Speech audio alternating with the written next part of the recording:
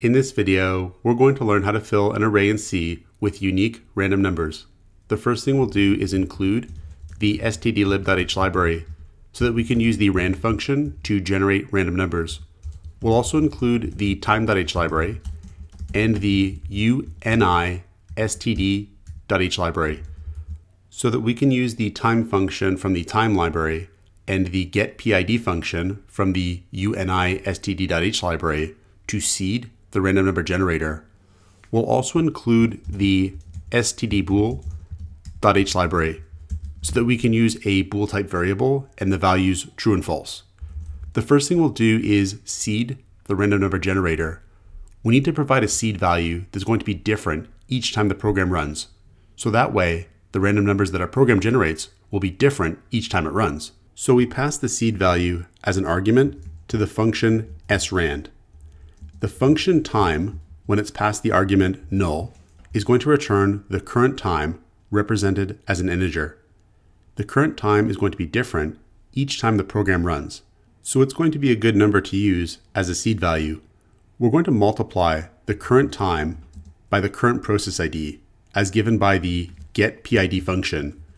So the getPID function is going to return the current process ID represented as an integer. The process ID is going to be unique for each running process on our computer. Integrating both the process ID and the current time into our seed value is going to make an even more unique and better seed value. Next, let's declare an array of 10 ints. So we'll have int a 10. Now let's create a function that's going to fill this array with unique random values. So we'll call the function fill underscore unique. And the function is going to have four parameters, the array itself, the length of the array, and the min and max values for our random numbers. So down here, we'll provide a definition for this function. And the first thing we'll do is declare a couple variables. We're going to declare a variable called new underscore random that's going to store the new random numbers that we generate. We'll also declare a variable called unique, and it's going to be a bool type variable. And unique is going to help us to keep track of whether or not the random number that we've generated is unique or not. So we need to fill each element in the array with a unique random number. So the first thing we'll do is create a loop with a counter variable i that's going to go from 0 up until the length of the array. So we're going to increment i by 1 starting off from zero in this loop until it reaches the length. So we're going to have access to each element in our array. And what we're going to do is set each element in the array at the index i equal to a new random value. Now the trickier part is going to be determining this new random value because we need to make sure that the new random value we've generated is not already in the array. We need each array value to be unique. So the next thing we'll do is generate the random number inside a do while loop. We're going to use a while structure because we're always going to have to generate the random number at least once. But if it turns out the random number that we've generated is not unique, then we can attempt to generate the random number again and again in the loop until eventually we do find a unique number that is not already in the array. So we'll set new underscore random equal to the random value in the range min to max to do that, we'll call the rand function and we'll have modulus max minus min plus 1 and then plus min.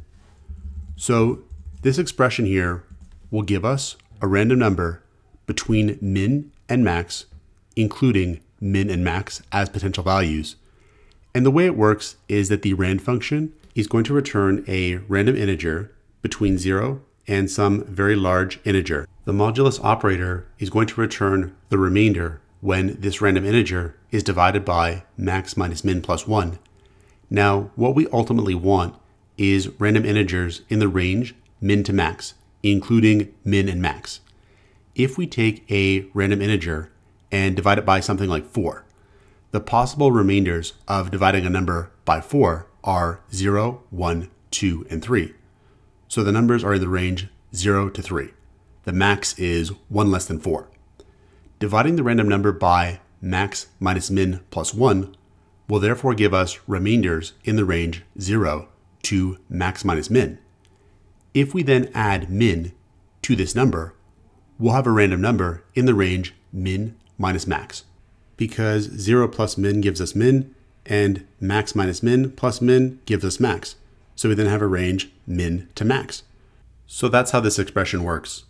Next, we need to make sure that this new random number that we've generated is not already in the array. Otherwise, it's not unique. So what we'll do is create a loop to go through and check to see if it's in the array or not. So we're going to have the unique variable set to true. We're going to assume that the value is unique until we can show that it isn't. Then we'll have a loop that's going to go through all the values that we've put into the array so far.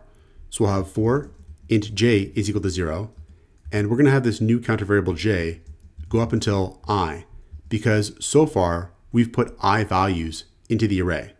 Then we'll have j++. Plus So this for loop here is going to go from 0 up until the current index that we're about to set. And we're going to check to see if at any of the previous indexes, we've already set this value, new random. So if the array at index j is equal to new random, then we're going to set unique to false because this new random number is not unique. So if unique is set to false, then the loop is going to run again until eventually we find a random number that is unique.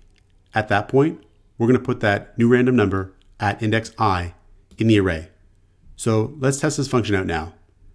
Up here, we'll call fill unique, and we're going to pass it a our array, the length, which is 10, and for the min value, let's say 1, and for the max value, let's say 10. Then down here, we'll print out the elements of the array just to check to see that they've been set to random values. So we'll have for int i is equal to 0, i is less than 10, i plus plus, and here we'll print out each value in the array.